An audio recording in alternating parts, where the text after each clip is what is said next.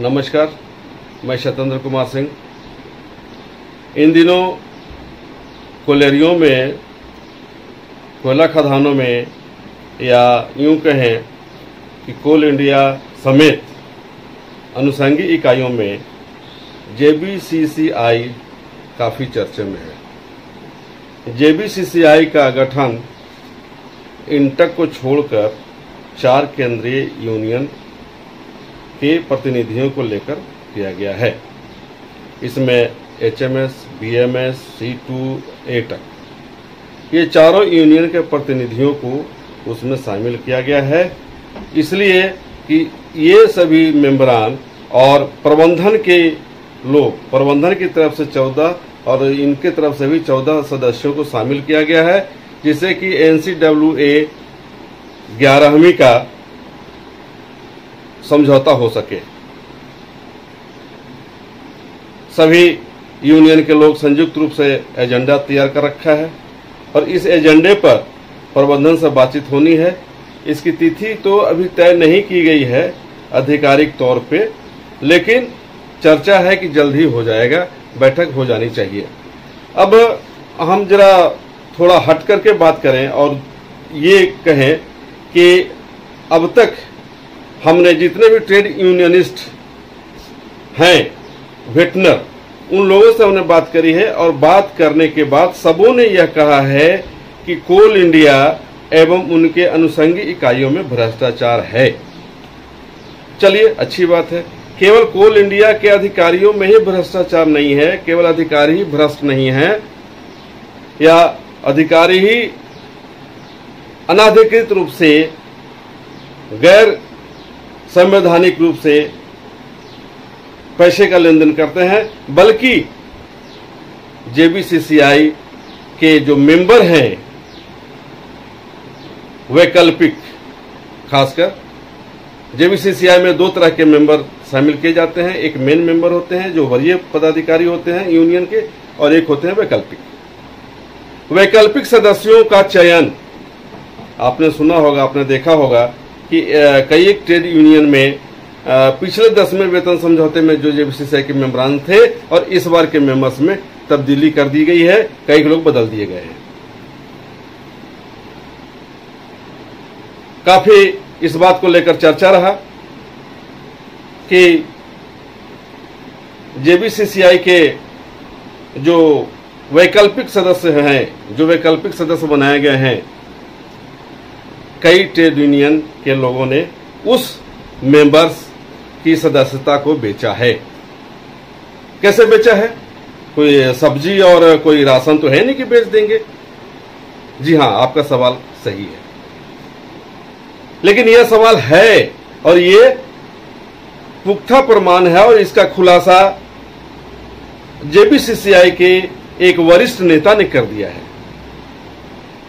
कि पैसे लेकर मेंबर्स बना दिए गए हैं, जिन्हें ना तो आंदोलन का अनुभव है, श्रमिक आंदोलन का, ना उन्हें श्रमिकों की समस्याओं से अवगत हुए हैं लोग, जिनके यूँ कहें कि उन्होंने तो स्पष्ट कहा कि जिनके दूध के दांत नहीं टूटे हैं, उन्हें जेबीसीसीआई का मेंबर बना दिया गया, जहाँ टॉप रैंक के अधिकारी बैठते हैं और टॉप रैंक के श्रमिक संगठन के लोग बैठते हैं। तो आप खुद ही अंदाज़ा लगा लीजिए कि कैसे कैसे लोग श्रमिक संगठन में, जेबीसीसीआई के मेंबर्स बने हैं। तो ऐसी स्थिति में श्रमिकों की कितनी समस्याओं का समाधान होगा? ये ऊपर वाला ही जाना। लेकिन नीचे वाले को भी जानना होगा। आखिर जिन लोगों ने पैसे लेकर इसको बेचा है सीट को, हालाँकि पूछने के बाद वो स्पष्ट तो नहीं करते लेकिन कहते हैं कि नहीं, ऐसी बात नहीं है, लेकिन है, क्यों है? इसलिए है कि कोल इंडस्ट्री ही नहीं, बल्कि अन्य उद्योगों में, श्रमिकों के हित में लड़ने वाला एक संगठन है एटक, जो वाम मोर्चा से रिलेटेड है। यानी वाम मोर्चा के विचारधारा से यह प्रभावित है, और उसने एक नहीं, कई आंदोलनों को संचालित किया है और मजदूरों का हक व अधिकार दिलाया है। ऐसे संगठन के एक वरीय नेता अगर कहते हैं तो उनकी बातों को नजरअंदाज नहीं किया जा सकता। एटक के राष्ट्रीय अध्यक्ष रविंद्र कुमार ने कहा है कि पैसे लेकर सदस्यता दी गई है लोगों को। ऐसे में हम कह सकते हैं कि जेबीसीसीआई के जो वरिष्ठ मेंबर्स हैं, उन लोगों ने वैकल्पिक सदस्यों को बनाने के लिए उस सीट को बेच दिया है। एक संगठन है,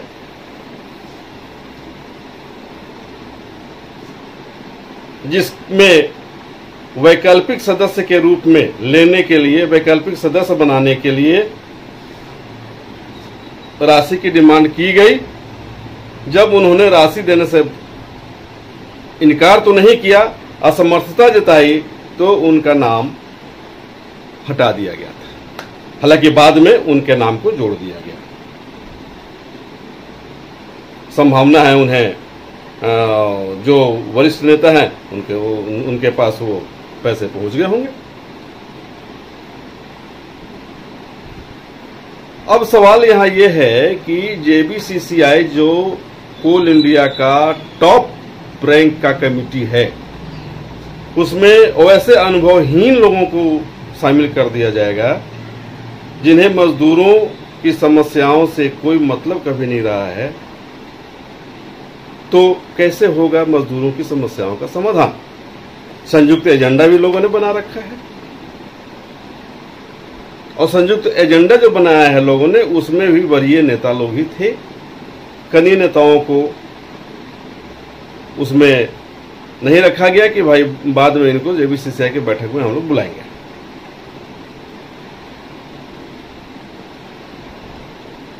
चलिए, अच्छी बात है। उन्होंने जो भी किया हो, लेकिन इसका असर निश्चित तौर पर हमारे कोल इंडस्ट्री पे पड़ेगा और बहुत सारी चीज़ें हैं जो सामने आता नज़र आएगा।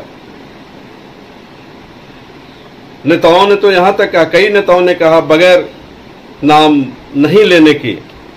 उन्होंने कहा कि देखिए, हम भी कोल फ़ील्ड से हैं और कोयला समाज से ही हैं, मजदूरों के समाज से हैं। अगर हमारा नाम ले लीजिएगा तो हमें परेशानी हो सकती है। उन लोगों ने स्पष्ट कहा है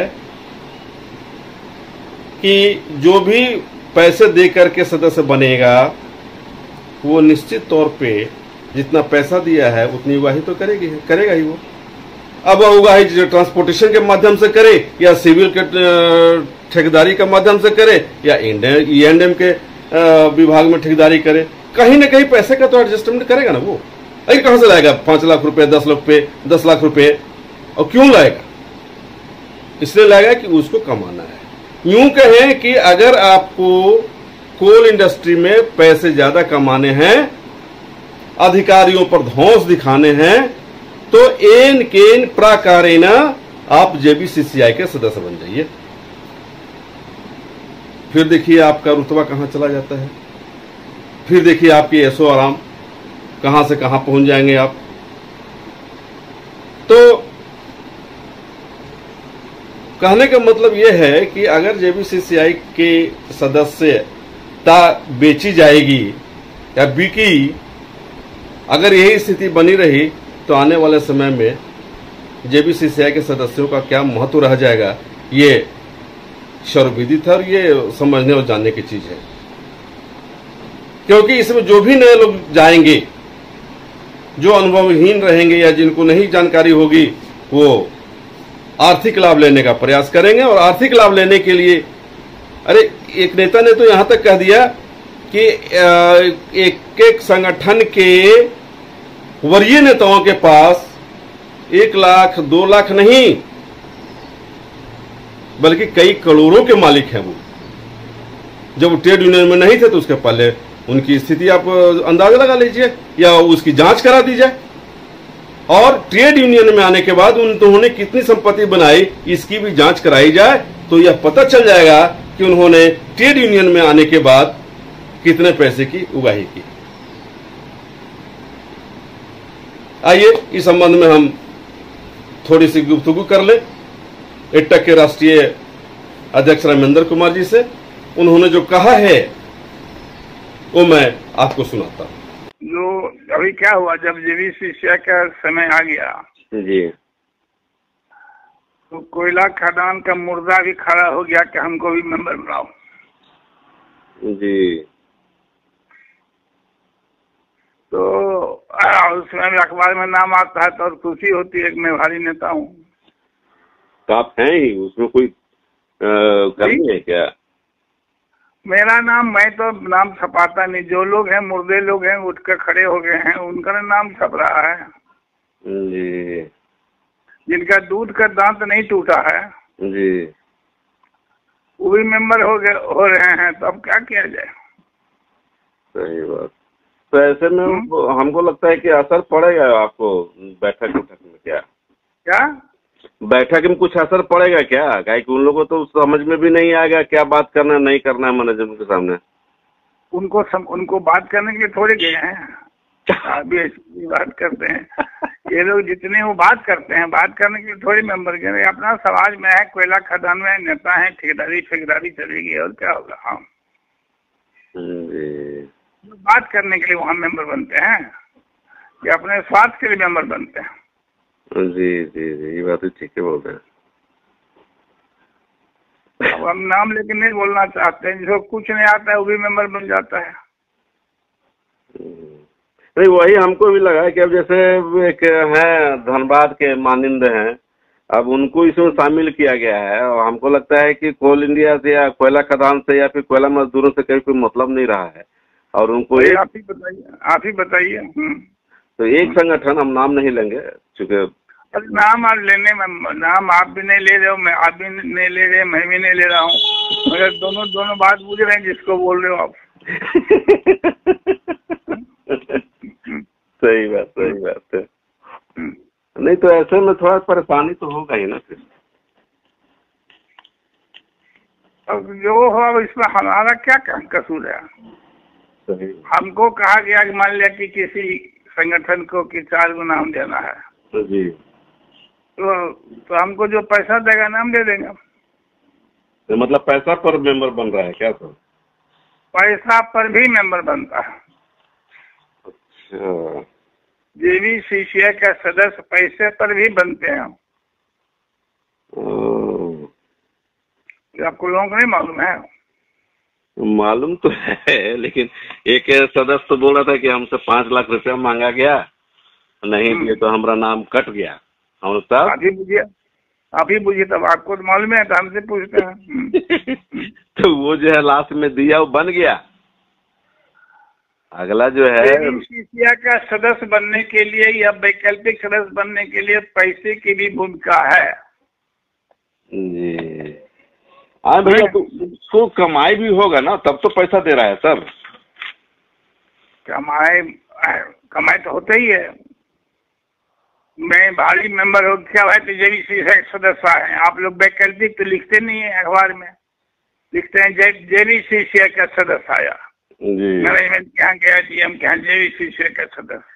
हाँ हाँ हाँ एक आध गो महीना में केस हो जाए तो कमाई सब निकल जाएगी। तय करिए हैं नहीं ठीक यूनियन को लोगों ने ट्रेड बना दिया। यूनियन खत्म हो गया अब ट्रेड हो गया बिज़नेस है। जी।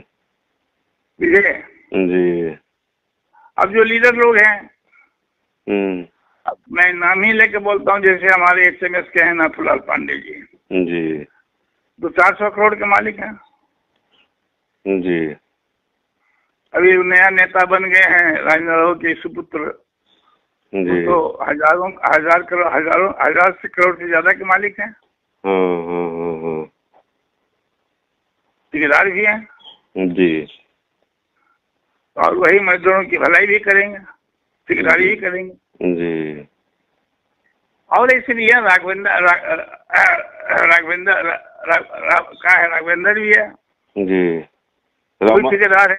राघवेंद्र राघवेंद्र रामानंदन की राघवेंद्र रामानंदन करता है राघवेंद्र अच्छा हाँ H M S H M S हाँ ठीक है वो भी ठेकेदारी करते हैं क्या रियल स्टेट स्टेट क्या क्या चलाता रहता है तो हम हम लोग बुर्बक हैं सारा ज़िंदगी बिता दिए कुछ नहीं किए।